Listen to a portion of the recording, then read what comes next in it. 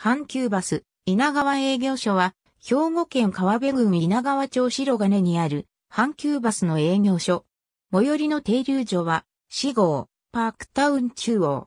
1987年5月に開設された。稲川町一帯は、隣接する川西市とともに、清和台営業所が担当していたが、ニュータウン路線の増便や新設に伴いてゼマとなったため、増車を兼ねて開設された。担当路線は、清和台営業所とともに、川西、稲川地区のニュータウン路線が中心で、稲川町北部地区のローカル路線も担当している。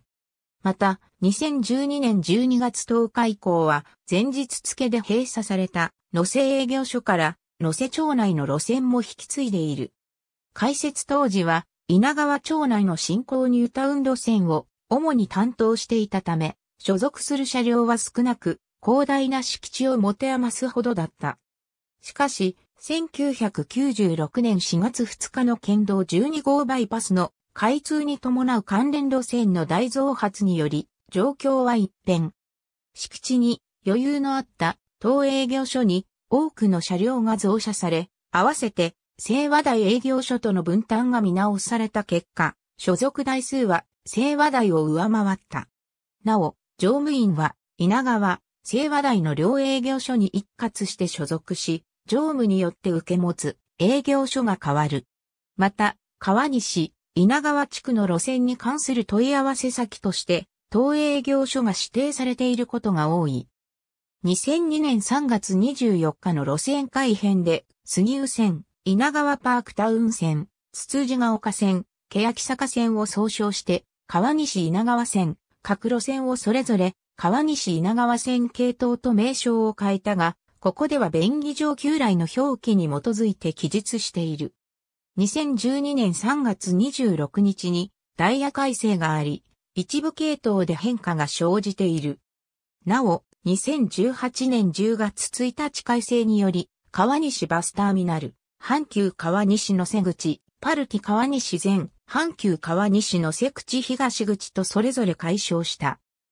杉生線油3体系統5川系統5川まで行く41系統稲川パークタウン線つつじが丘線、日清中央駅の北東に広がる日清ニュータウンへのアクセス路線として、1985年7月1日より64系統日清中央伏見池公園前間で運行開始。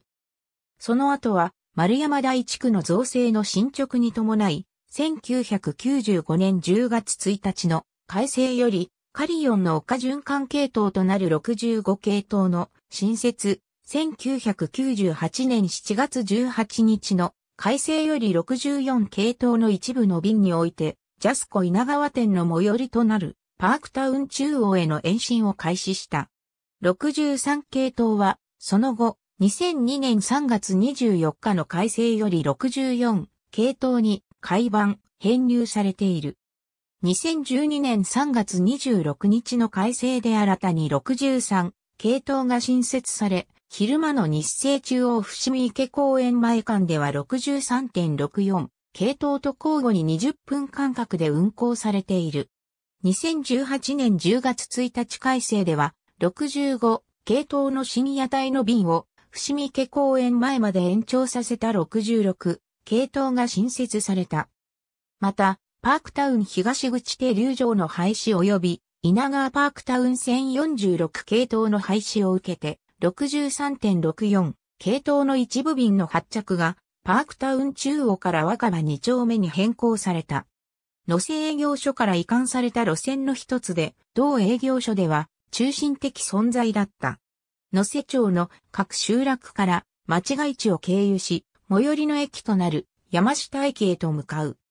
2009年11月1日の改正では、各系統とも減便され、山下駅前、森上間においては1時間に1本程度となった。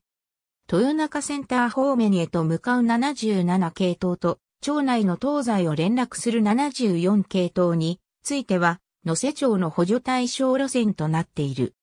なお、2006年から2007年頃に、野瀬町がデマンドバスの代わりとなっていた通園バス、超福祉バスと共にこの西野瀬線を路線改変する計画を打ち出していたが、町バスを除いて見送られた。こちらも2020年5月25日改正により、稲川町が運行する予約制バスのちょいそこ稲川の実証運行に伴い、76系統の日清中央神谷谷、森上間が運休になった。こちらも実証運転終了後も再開するかは未定である。2021年2月25日に、同年4月1日にダイヤ改正を実施することが発表された。改正の内容は以下の通り。上記の改正前までの各系統の運行経路は以下の通り。10系統のうち、川西バスターミナルマイナス5川系統は、清和台営業所過去の担当路線を参照。2008年11月4日から2009年3月31日と、同年5月7日から9月30日に試験、運行されていたコミュニティバス路線。川西市内の住宅地と下地川西病院間のアクセスを目的に設定された。区間系統も含め1日5便、1周約65分で平日のみ運行。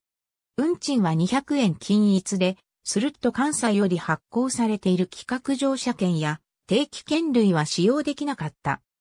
山岳路線が多いためほとんど初乗り160円、または170円からの距離制運賃だが、川西市南部の一部は初乗り220円からの区間制運賃、または220円均一運賃で、大和団地線は160円均一運賃。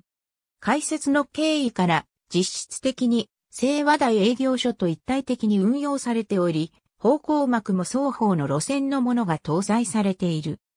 また、1996年4月2日改正の大増発以降、多くの台数が必要になったことから、新車と並行して他の営業所からも多くの転属車が入ったが、2015年以降は新車を中心に導入している。杉生線五川系統はかつて川西バスターミナルを起点とする長距離路線で、阪急バス全線で唯一となる4桁の運賃が設定されていた。この名残で、運賃の4桁表示に対応した運賃表示器が多く使用されている。なお、コミュニティバス路線には小型タイプが導入されている。ありがとうございます。